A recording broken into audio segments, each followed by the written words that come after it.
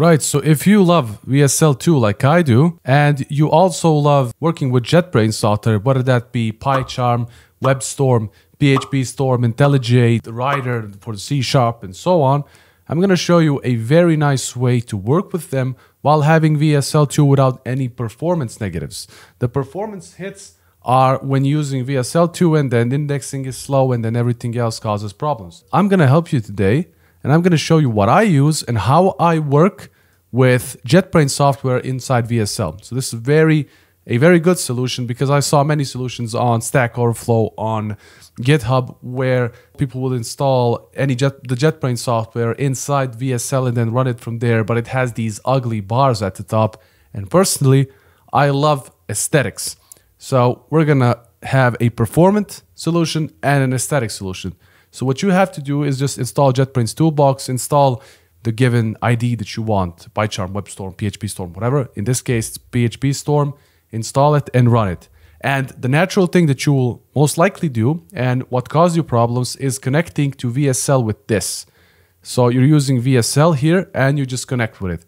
That's the problem. That's a big no that you should avoid. What you should do is connect with the SSH connection because essentially we can connect with SSH in our WSL. So you can already see I have some connections here.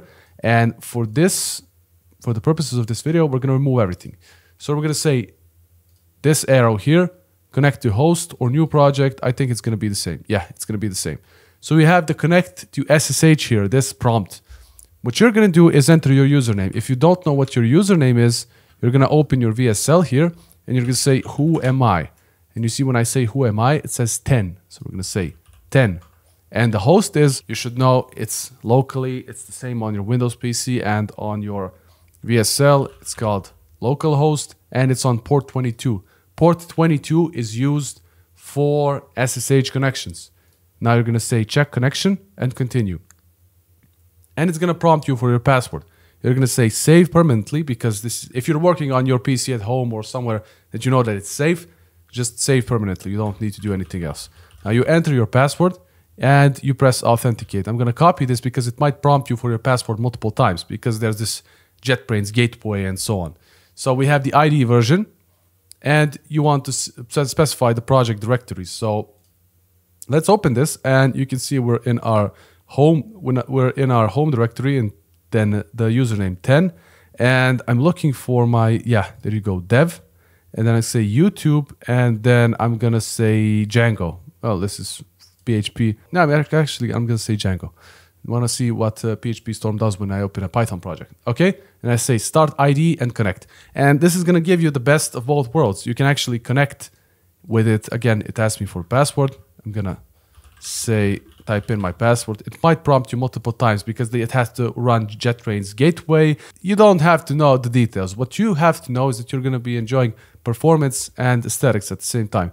So you connect with your SSH and you're going to have the connections here. As you can see, projects will appear after the first connection and it's opening. And you can see PHP Storm opened, the project opened, and we have, oh, this is an empty project. It's kind of uh, not the point of showing that, but let's open another project then. Let's, let's see what we can do. So we say open.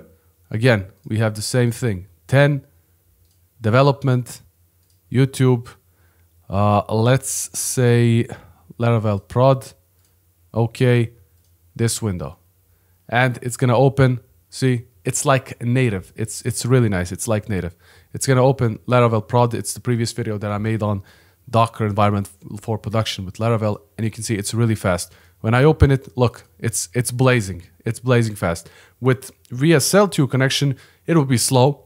You will have problems typing. The IntelliSense would be really slow to open up and analyze everything. This is, as you can see, blazing fast. So this is a very simple thing to do. You have everything set up, and then in your remote development, you go to SSH, and you're gonna have projects once you do this. If again you see some bugs because this is still still in beta, as you can see, it's not opening any, anything here. I'm gonna close this. You can just say authenticate. You can enter your password.